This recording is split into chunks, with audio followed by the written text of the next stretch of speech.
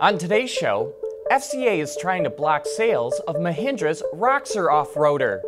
Ford introduces new technology on the Focus that warns of wrong-way driving, and Tesla reveals its next version of autopilot will use neural network chips.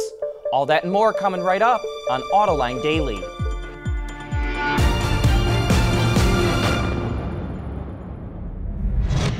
This is Autoline Daily, the show for enthusiasts of the global automotive industry. Well, if at first you don't succeed, try, try again. After a deal fell through last month to sell its electric battery operations for a billion dollars to GSR Capital, Nissan has found another buyer. It's selling it to the Chinese renewable energy firm, the Envision Group, but financial details weren't disclosed. The deal includes Nissan's battery manufacturing operations in Smyrna, Tennessee, Sunderland, England, along with its development and engineering operations in Japan. Envision will create a new entity with the acquisition, which Nissan has agreed to retain a 25% share of. In other EV news, Bloomberg reports that Daimler is in talks to build electric smart cars in China with Beijing Electric Vehicle. Daimler builds Mercedes Benzes in the country with BEV's parent company, Beijing Automotive Group. It currently imports gas versions of Smart into China, but hasn't disclosed sales. But by building electric versions in the largest EV market in the world, Daimler hopes it can revitalize the Smart brand. Sales dropped 7% last year to just over 135,000 units globally. When Rick Haas, president and CEO of Mahindra Automotive North America, was asked about how FCA feels about its Roxor off road vehicle on an Autoline After Hours back in April, his response was, We have legal agreements with FCA. We followed them. Well, it looks like FCA is not so sure. The Detroit News reports the automaker has filed a complaint with the U.S. International Trade Commission to block Mahindra from selling the Roxor in the U.S. FCA says the Roxor dilutes the Jeep brand and infringes on essential trademarks. Sub 70 years ago, Mahindra started building Jeeps in India while under contract with Willys. Its most recent contract with FCA is from 2009, and the company opened a new facility last year in Auburn Hills, Michigan to build the Roxor. Ford of Europe is introducing a wrong way alert on the all new Focus.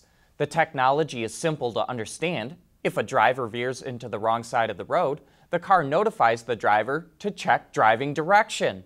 The system uses a windshield mounted camera that can check for no entry signs and a GPS to see if a driver is on the wrong side of the road. The technology will first be available in Germany, Austria, and Switzerland. Still to come, a look at autonomous technology developed by students and faculty at the University of Michigan Dearborn. AutoLine Daily is brought to you by Bridgestone Tires, your journey, our passion. Dow Automotive Systems, advanced materials that deliver better results. And by Lear, a global leader in automotive seating and electrical systems. Tesla divulged some fascinating information on its earnings call last week. For the last two to three years, it's developing its own neural network chips in secret. They'll be used for the latest version of its autopilot system, V9. Stuart Bowers, VP of Engineering, said V9 will provide full on ramp to off ramp autonomy, including automatic lane changes. Pete Bannon, Director of Silicon Engineering, said Tesla's chips can easily be retrofitted to all S, X, and Model 3s. He says that Tesla has a huge advantage in efficiency and performance because it designed chips for neural networks from scratch, while others have modified existing chips. Elon Musk says the CPUs or GPUs that others use run their neural networks in an emulation mode, so they're not as effective. Quote, the current NVIDIA hardware can do 200 frames a second, Musk said. Quote, this is able to do over 2,000 frames a second. In the past, Musk claimed it was possible to develop autonomous cars without using LiDAR, only video cameras. Now we know why he's been so bullish with his prediction. On Friday, the University of Michigan Dearborn held its second annual Demo Day, where students and faculty demonstrated the latest mobility technology. One of the displays included a Polaris GEM EV that had been converted to drive by wire by students and faculty. The idea behind such a system is that it allows autonomous driving with the availability of human intervention. Another system, a paintball gun mounted to an autonomous robot, can scout ahead of troops with the ability to defend itself. But don't worry, in a real world application, only a human can authorize the use of lethal force. Other installations included solid state LiDAR systems, vehicle cybersecurity demonstrations, and the use of neural networks by autonomous vehicles to identify objects in their path.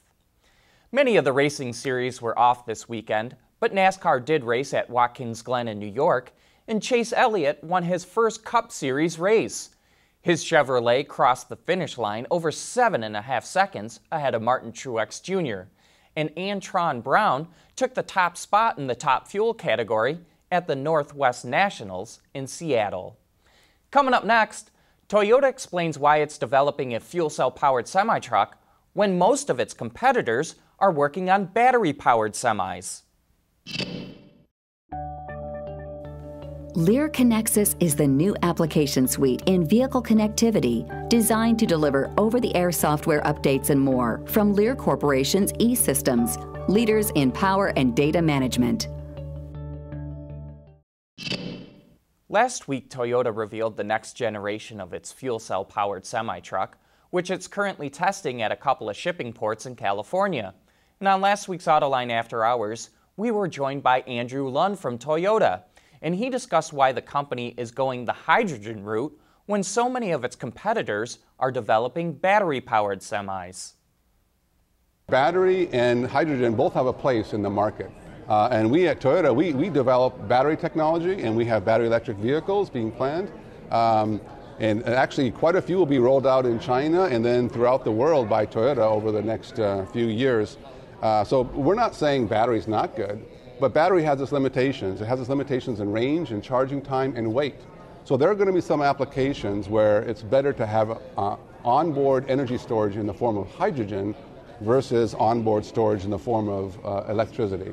So we, we look at this holistically, looking at the market from small vehicles to mid-sized vehicles to large vehicles, going from short range to long range, um, you know, what is the vehicle doing at night? Is it running 24-7? If it's running 24-7, when do you have time to recharge?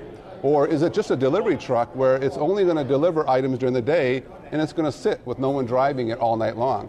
Well, those type of uses will make battery or hydrogen fuel cell maybe more attractive. So, um, but for the drayage operation where you need to be able to keep the running going and there is a third shift. You know, not all the terminals operate the third shift, but there is a third shift, so you might need to be there early in the morning. Uh, having that flexibility of not having to charge uh, is something that really works well. And you can watch that entire discussion right now on our website, autoline.tv, or you can look for it on our YouTube channel.